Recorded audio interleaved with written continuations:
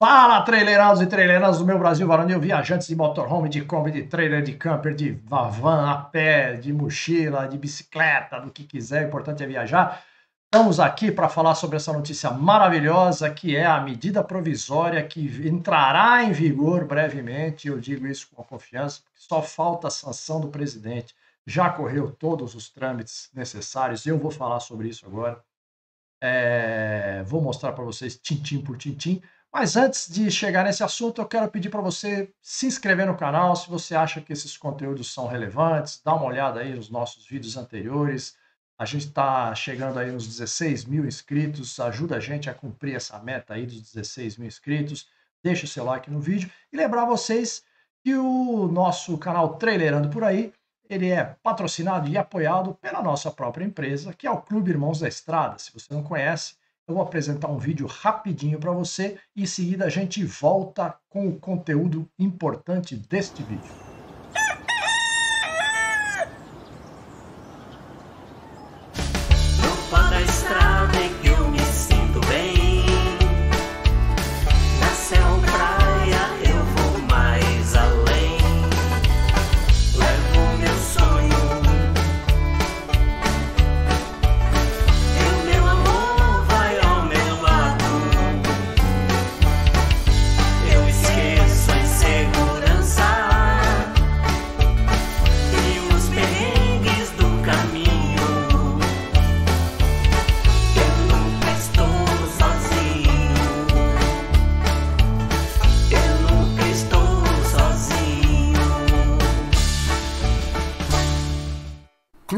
Irmãos da Estrada. A gente trabalha e você se diverte.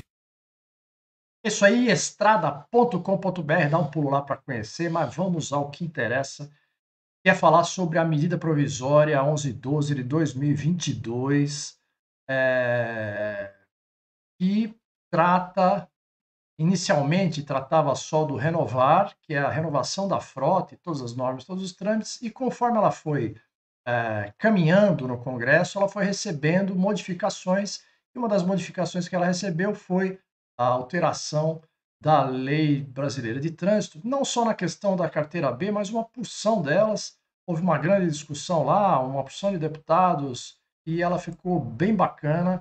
Ela resolve de uma vez por todas a questão, inclusive daquele PL que está em tramitação, né, que a gente falou. Se você não sabe o que é, dá uma olhada nos vídeos anteriores aí, que você vai ver desde o começo, pode acompanhar nossa participação, o que, que aconteceu, qual foi toda essa trajetória é, dessas modificações em relação a você poder puxar um trailer é, com a sua carteira B.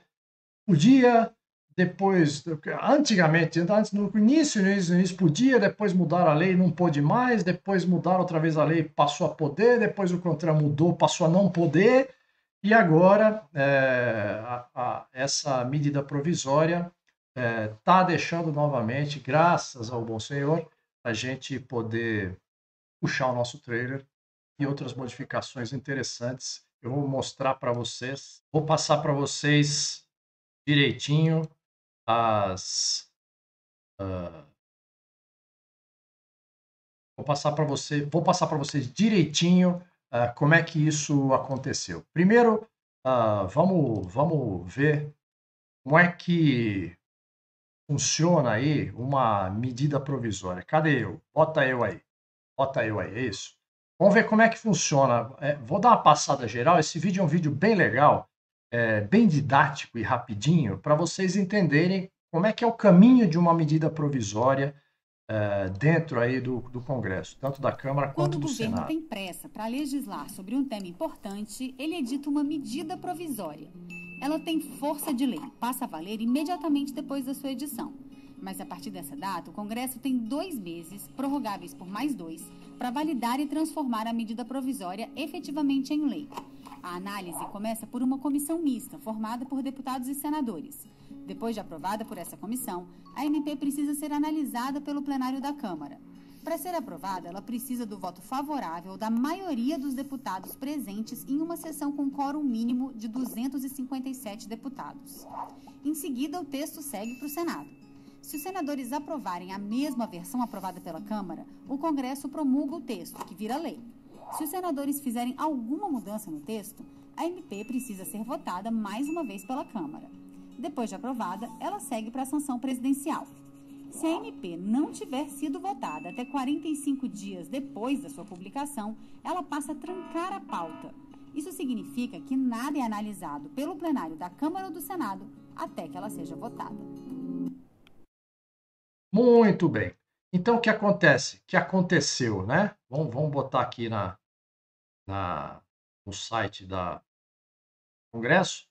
A medida provisória 1112 de 2022 que é, eh, foi, foi editada pelo presidente Jair Bolsonaro é, no início do ano, na verdade, é, é, faz bastante tempo já que ela foi ah, instituída e passou a, a andar dentro do Congresso e durante a, os trâmites né, do, do, do Congresso, né, ter uma ideia, lista de publicações, ó, só de emenda, ela teve 88 emendas. Tá? Ou seja, ela foi sendo modificada, uh, foi, foi recebendo as, né, as modificações conforme ela foi andando dentro do, do, do Congresso, e uh, acabou que ela foi aprovada, foi aprovada pela, pela, pela comissão mista, e foi para o Senado Federal. E no Senado Federal, olha que beleza, situação. Desde o dia 3, aprovado o projeto de lei. Tá? Ela já foi aprovada pelo Senado e ela está agora uh, indo para a sanção presidencial. Então é o fim da é o fim daí da, dos, dos trâmites para que ela passe a valer. E o que, que ela diz? Ela diz o seguinte: essa aqui é, é, é, a, é a, o texto final, é colocado lá, embora né, ela tenha iniciado apenas com renovar, mas ela foi apensada aí com diversos, diversos trechos de diversos deputados, falando sobre orçamento, falando sobre ah, os, os, agentes de trânsito, tem um monte de coisa que foi colocado junto. Então, assim, é, é uma, é um, uma medida provisória bem coletiva, teve a participação de muita gente mesmo. É, e lá no seu artigo 15 né, dessa medida provisória, diz que a lei de trânsito brasileira passa a vigorar com as seguintes alterações.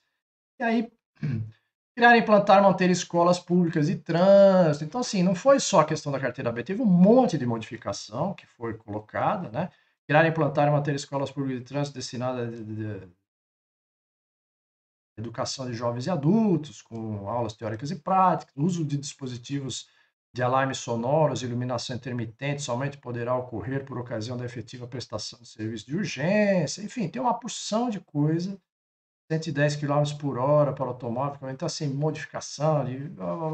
mas o que interessa para a gente é o que diz aqui no 143, artigo 143, que diz lá, né, a categoria C, quer dizer, na verdade deixa claro o que a lei de trânsito original aqui, antes da modificação do CONTRAN, já dizia, mas dizia de uma forma um pouco confusa.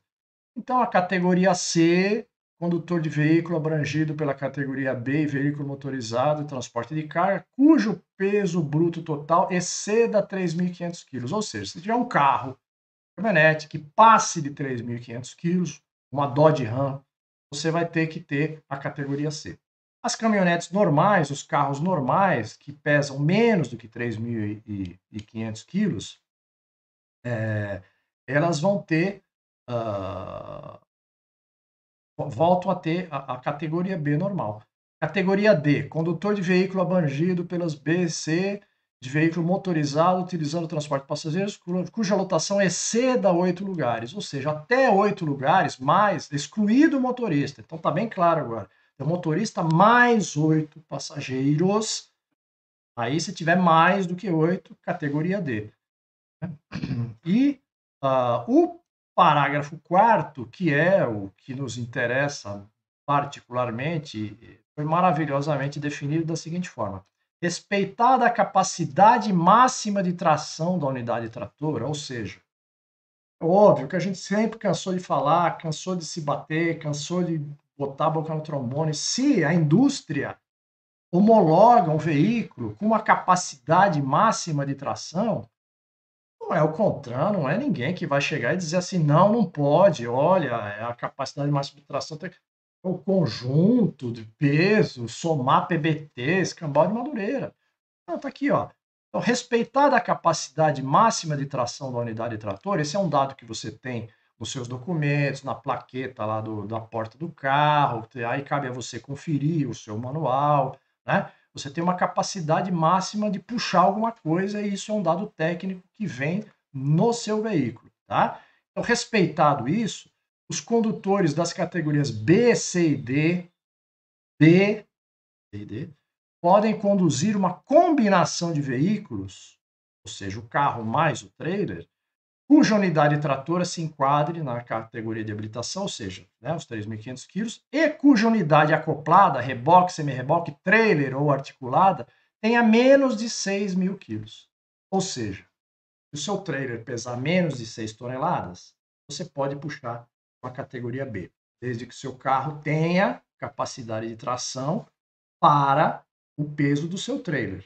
Tá? Então você precisa consultar a capacidade de tração do seu carro e ver que, qual que é essa capacidade e ver o peso do seu trailer. São dados que você tem nos documentos aí, fácil de você achar. Tá?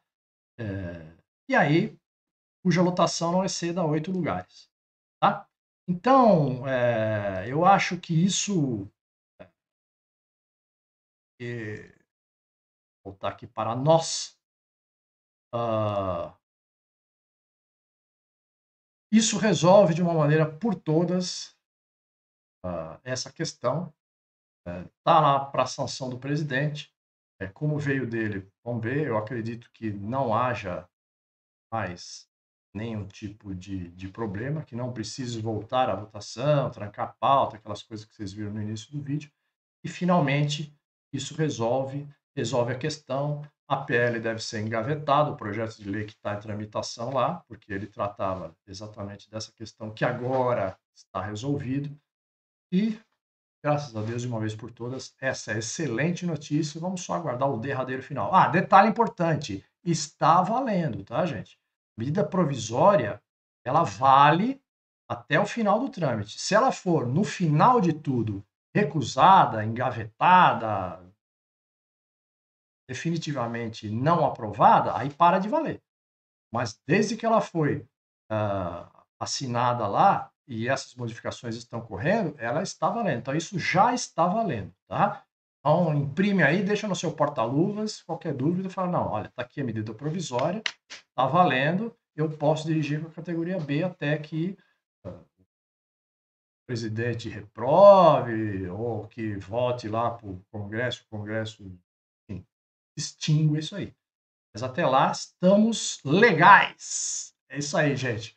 Essa foi a boa notícia que eu quis trazer para você. Acompanhe a gente aí nas redes sociais, trailerando no Instagram. E se inscreve no canal, deixa aí o seu like e a gente se vê trailerando por aí. Tchau.